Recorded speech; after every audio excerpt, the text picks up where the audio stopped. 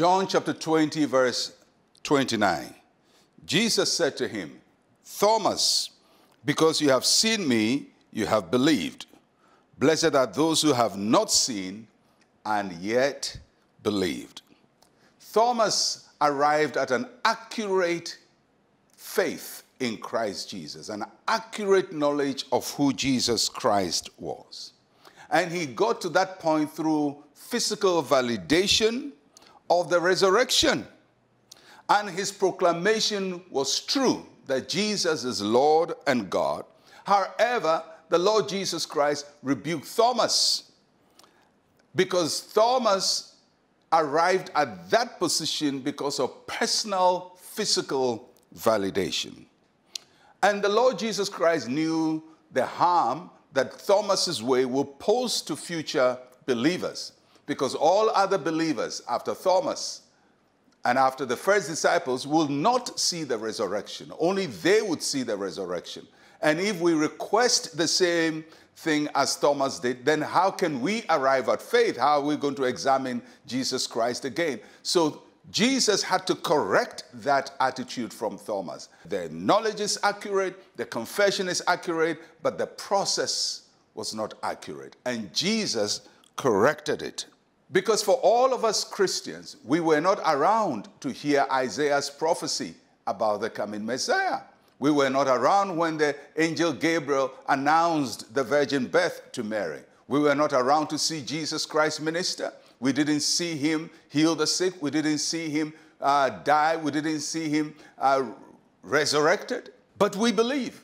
And we believe because some people who saw it gave us the report. And that's what Jesus is telling Thomas. You should have believed the report of the credible witnesses who told you first that I had died and told you secondly that I had resurrected. You should have believed it. And that is how we also arrive at faith. We arrive at faith because of the witnesses who were there and saw these things. So, how do we know that what they tell us is right? We know because of the consistency of their story, but more than anything, because of how they sealed their witness with their blood. Each one of them, at the point of death, at the point of death of their children or families, never denied the truth of what they had seen. They were killed almost to the last man.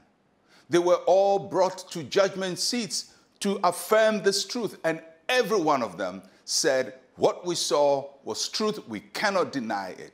And they were so compelling that for many generations of Christians, they were torn asunder, they were eaten by lions, they were cut into two, they were beheaded, they were skinned alive. But all of them who saw Jesus affirmed what we truly saw and we believe in it. Now, if people are so confident in the truth to seal it with their blood, then we who heard them later will trust their witness and believe in the same Lord. And that's what Jesus is telling Thomas. Don't discourage the faith of those who come after you because they would not be there to see a risen Lord physically, see his wounds and see uh, his body.